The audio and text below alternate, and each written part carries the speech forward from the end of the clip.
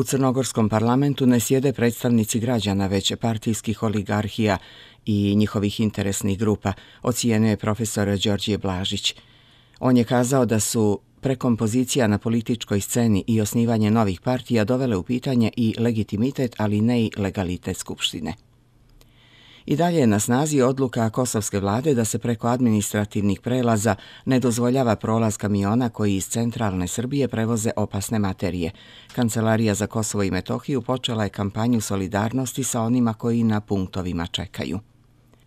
Nikada nećemo priznati jednostrano proglašenu nezavisnost Kosova i Metohije i nikada nećemo prestati da se borimo i pitamo šta je sa pravima protjeranih i njihovom imovinom, poručuje ministar za rade, zapošljavanje, boračka i socijalna pitanja i predsjednik pokreta socijalista Aleksandar Vulin. Legendarni rok muzičar Bora Đorđević pozvao je sve ljude da dođu na veliki protest protiv NATO-a, koji danas na Trgu Republike u Beogradu organizuje Srpski sabor Zavetnici. Popularni Bora Čorba je naglasio da je bez obzira na pripadnost političkoj partiji važno da na veliki protest dođu svi ljudi kojima je Srbija u srcu. On je poručio da su natisti novi nacisti i kroz stihove poručio zbog čega srpski narod neće u NATO. U četvorominutnom snimku pod nazivom Posljednja šansa, Pyongyang prikazuje lansiranje nuklearne rakete sa podmornice ka Vašingtonu, a na kraju snimka se vidi američka zastava u plamenu. Prenio je AFP. Snimak prikazuje istoriju američko-korejskih odnosa i završava se digitalno obrađenom scenom u kojoj se vidi raketa kako prolazi kroz oblake, vraća se na zemlju i pada ispred spomenika Abrahamu Lincolnu u Vašingtonu. Napadi u Briselu otkrili su katastrofalne nedostatke u evropskoj bezbjednostnoj politici, a na vidjelo izbijaju rivalstva i sujete raznih evropskih tajnih službi, tako da su potrebne korijenite promjene, ocjenjuju američki stručnjaci za bezbjednost. Među američkim ekspertima za tajne službe to je bila neka vrsta javne tajne, ali otkako su se dogodili napadi u Briselu, o tome se diskutuje i javno u američkim medijima, prenio je Deutsche Welle.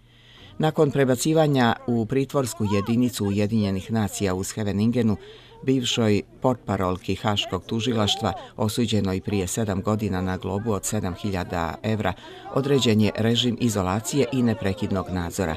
Njen advokat smatra to nepotrebnim, ničim opravdanim i neproporcionalnim, ali nema kome da se žali jer je zatvorska uprava na uskršnjim praznicima. Sud je inače odredio kompenzacionu kaznu 1000 evra po danu.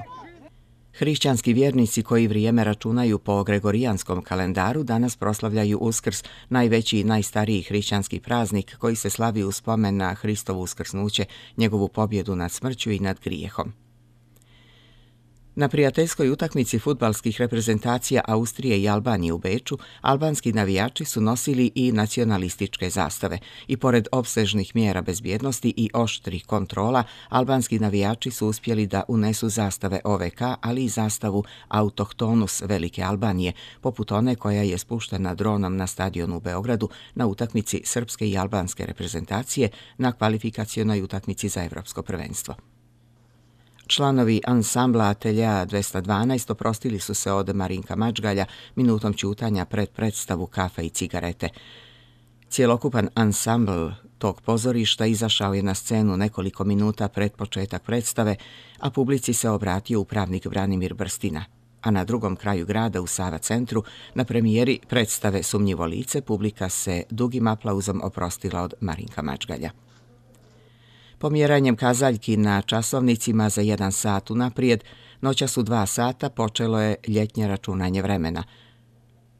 U Crnoj gori pretežno sunčano ili malo do umjereno oblačno, a na sjeveru prije podne umjereno do potpuno oblačno, ponegdje sa slabim padavinama.